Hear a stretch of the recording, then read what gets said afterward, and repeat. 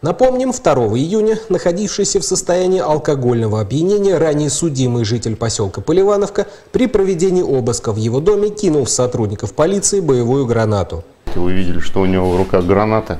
При нас вырвал чеку, стал угрожать как бы убийством. Вот. Начали его уговаривать в том плане, что были понятые там, и жена его. Попросили его дать возможность понятым уйти из дома. Вывели понятых, после чего бросил нам за спину гранату. Произошел взрыв, как бы. Вот. После чего мы его задержали. От взрыва гранаты могли пострадать двое понятых и жена злоумышленника. Но оперативникам удалось в буквальном смысле оттащить их на относительно безопасное расстояние и закрыть собственными телами. После взрыва сотрудники полиции получили касательное ранение, что не помешало им задержать и обезвредить злоумышленника. Сотрудники начали со мной говорить, чтобы я отдал им, либо, ну я потому что чеку вытащил, отдал им эту гранату. Я сказал, что мое намерение покончить жизнь с убийством оконченное.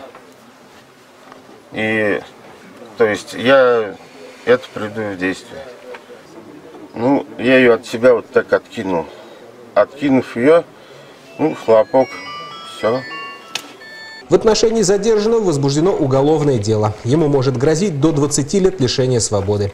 Следственными органами Следственного комитета Российской Федерации по Саратовской области продолжается расследование уголовного дела, возбужденного по признакам преступления, предусмотренного статьей 317 Уголовного кодекса Российской Федерации, то есть посягательство на жизнь сотрудников правоохранительных органов.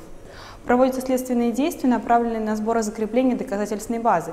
Начальник Главного управления ВД России по Саратовской области генерал-лейтенант полиции Сергей Аренин поблагодарил оперативников за самоотверженную службу и пожелал им скорейшего выздоровления. Также генерал отметил, что в сложившейся экстренной ситуации сотрудники приняли мужественное решение, рискуя собой, спасли жизни мирных граждан. Здоровья, ребятки! Спасибо. Все, отдыхайте. Денис Желтов, Анатолий Чернов, Вести, дежурная часть Саратов.